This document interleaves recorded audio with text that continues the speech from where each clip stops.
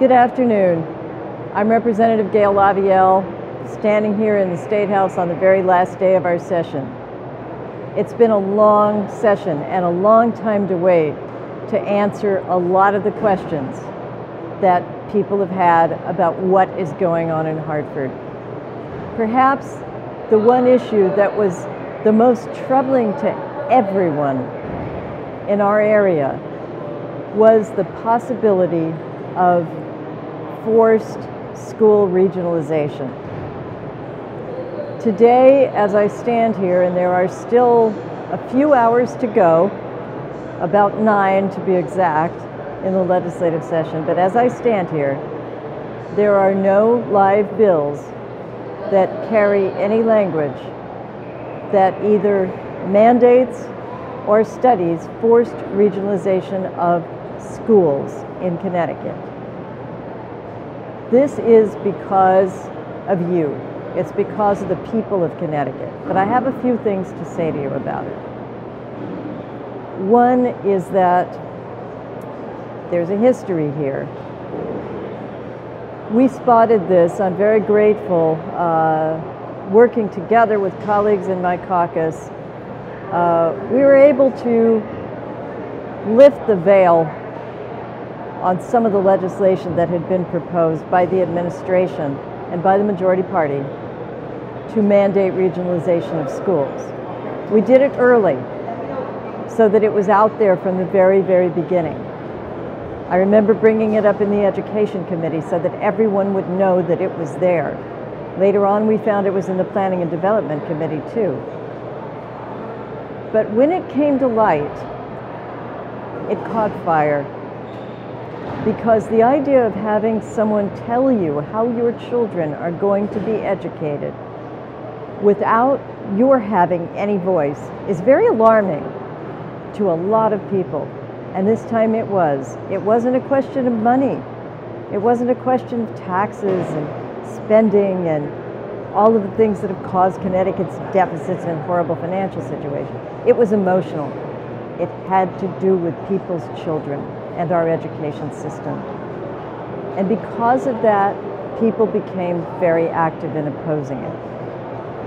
And I know just more than 10,000 voices alone on our Facebook page, um, more than 5,000 pieces of testimony that came into the Education Committee against these efforts to do forced regionalization.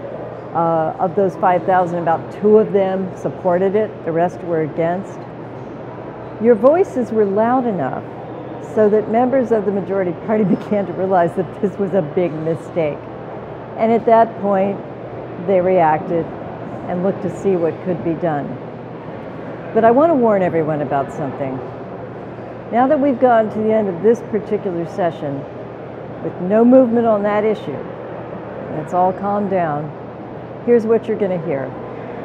You're going to hear that people like me, that Republicans in the, in the legislature were fear mongering, that this was never going to happen to begin with, that it was a twinkle in somebody's eye, that we were making it up.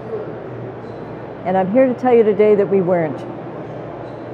There were pages in the governor's budget book, which I am quite happy to photograph and send out, in fact, I will, that talked about redistricting and consolidation of schools and when it would be done and how it would be done.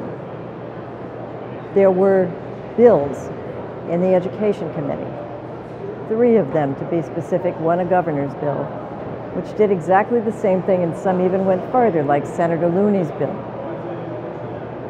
There was a bill in the Planning and Development Committee, and then there was another bill in the Planning and Development Committee that talked about shared services in general, because this has been a theme in this legislature for the entire time that I've been here. I'm in my ninth year. And particularly when Brendan Sharkey was the Speaker of the House, this began to be a real primary goal of the majority party. It is not gone. There are still ideas floating around about doing this, but it will be it will be probably more light-handed to start.